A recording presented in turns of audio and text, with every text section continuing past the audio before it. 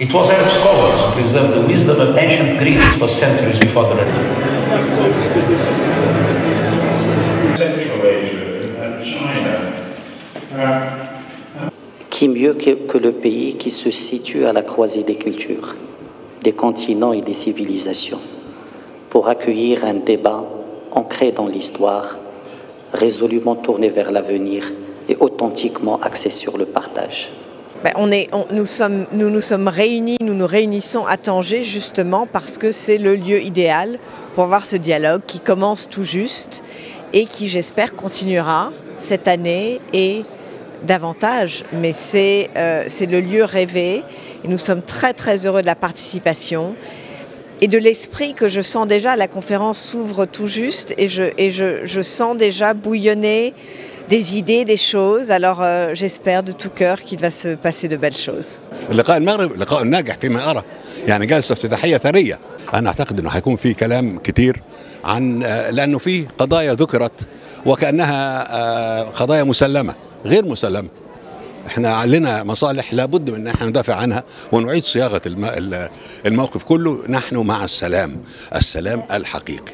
أعتقد انطلاق حوار طنجة هذه السنة يوفر منصة لتاكيد أن مشكلاتنا يجب أن نتحاور فيها وأن الطريق للتعامل مع المشكلات ليس من خلال تأجيج الصراعات وإنما من خلال البحث عن حلول بالتعامل مع الشخصيات العلمية النافذة واهل الاختصاص آه، في وجودهم في حوار شفاف حوار صريح آه، يبدون فيه تحليلهم للأزمات وأيضا استشرافهم لحلول مستقبلية لهذه آه، الأزمات.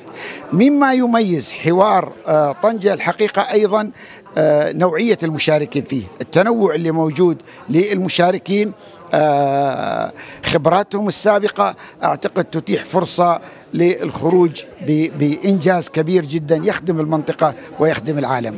En effet, cher Léa Pizarre, chers amis, l'engagement du Maroc aux côtés du projet Aladdin est un engagement de la première heure.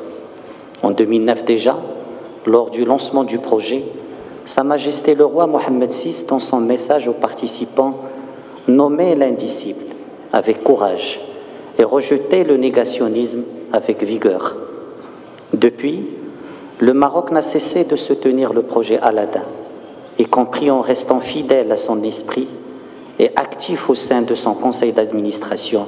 Et je salue à cet égard l'engagement discret et, mais efficace de M. André Azoulay, conseiller de Sa Majesté le Roi, qui incarne cet esprit d'Aladin. يكتسي هذا اللقاء أهميته من كون جملة من المؤسسات الفاعلة في عالمنا قد تضافرت على حمل مشعله مؤسسة وزارة الخارجية بالمملكة المغربية بكل ما تكتسب وتمتلك من فروع عبر العالم ومن قوة إيحائية دبلوماسية بهذا الخصوص.